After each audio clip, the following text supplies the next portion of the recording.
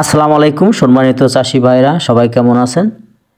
আজকে আরও একটি নতুন ভিডিওতে আমি জহিরুল ইসলাম সবাইকে স্বাগত জানাই। আজকে একটি গুরুত্বপূর্ণ বিষয় নিয়ে কথা বলব, বর্তমান আবহাওয়া।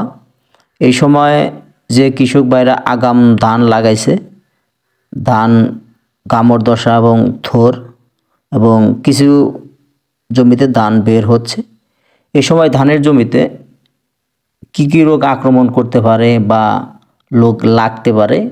বিশেষ করে ধানের ব্লাস্ট শীষ ব্লাস্ট খোল পচা এবং নেক ব্লাস্ট খুবই মারাত্মক। এর একটি বিশেষ ব্লুটিং এবং ব্লাস্ট রোগ দমন জরুরি এক সতর্কবার্তা। এবং একটা এই সময় কৃষক ভাইদের কী করণীয় এবং প্রতিষেধক হিসাবে কি ছত্রাকনাশক ব্যবহার করতে হবে সেই বিষয়ে আজকে আমি আলোচনা করব। আমার এই ভিডিওর সঙ্গে থাকবেন শুরু থেকে শেষ পর্যন্ত দেখবেন।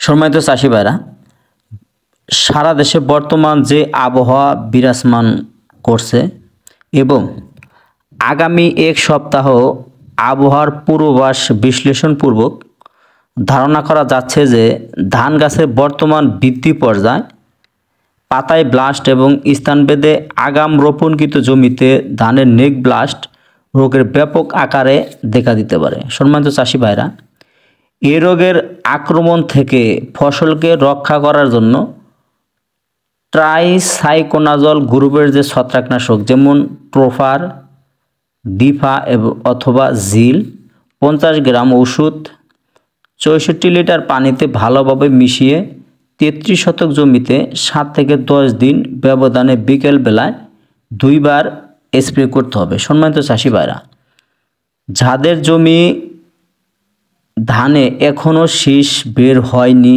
বা কিছু দিনের মধ্যে শীষ বের হবে, তাদের জমিতে ধানের শীষ বের হওয়ার সময় ধানের নেক ব্লাস রোগ হোক বা না হোক, একই নিয়মে বিকালবেলায় সাত থেকে দশ দিন ব্যবধানে দুইবার ছত্রাকনাশক স্প্রে করতে হবে। সম্মানিত চাষি ভাইরা, আপনাদের মনে রাখতে হবে যে ধানের নেক ব্লাস রোগ একবার হয়ে গেলে আর দমন করা কিন্তু সম্ভব নয়। ঝড় বৃষ্টির কারণে এবছর ধানে ব্লাস্ট রোগ ব্যাপকভাবে ছড়ানোর সম্ভাবনা আছে। তাই বৃষ্টি অবস্থায় বুঝে স্প্রে করতে হবে যেন স্প্রের পর পর ওষুধ পানিতে ধুয়ে না যায়। আজকে যে বিষয়টা নিয়ে আলোচনা করলাম খুবই গুরুত্বপূর্ণ একটি বিষয়, কারণ এখন কিন্তু ওয়েদার খুবই খারাপ, বৃষ্টি হচ্ছে। এই সময় কিন্তু ধানের ব্লাস্ট, নেক ব্লাস্ট এবং খোল পচা এবং সেই ব্লাস্টের আক্রমণ খুবই বেশি হবে।